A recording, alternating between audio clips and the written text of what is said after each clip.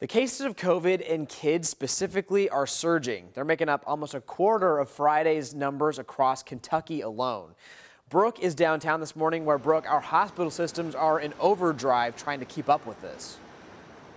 Yes, Robin. Of course, Norton Children's Hospital being one of them that sees a number of our kids coming in. And right now they are saying that they are seeing the most pediatric cases of COVID they have ever seen at one time. Just this weekend, at least nine kids coming in and being treated for COVID, a number of them under the age of 12, meaning they did not have a chance to get the vaccine yet. We did speak with one local mother. Her name is Danielle Nelson. Her entire family got hit with COVID, including both her two boys, both under the age of 12. It started with a headache and a fever, and then the coughs began. And luckily, her sons, she said, recovered quickly. Danielle is at home on quarantine, but her husband still at Baptist Health, recovering from respiratory failure. Between her two kids that were not eligible and she and her husband, no one had been vaccinated.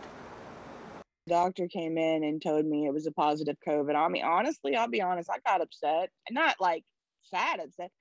I was mad because COVID has consumed us in a sense, consumed the world in a sense.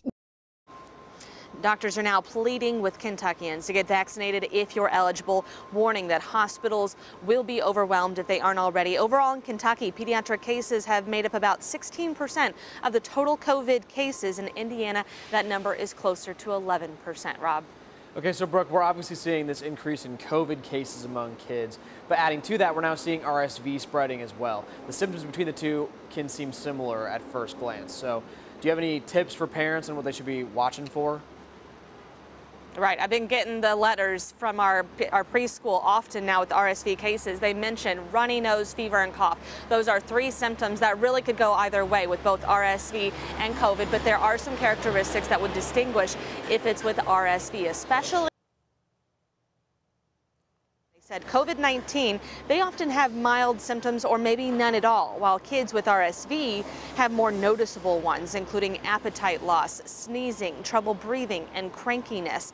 In some rare cases, RSV can also lead to more serious problems like bronchiolitis and pneumonia. Experts say you should call your child's doctor if you notice a high-pitched whistling or wheezing noise when they breathe, a cough with yellow, green, or gray mucus, or if they refuse to breastfeed or bottle feed for our little ones.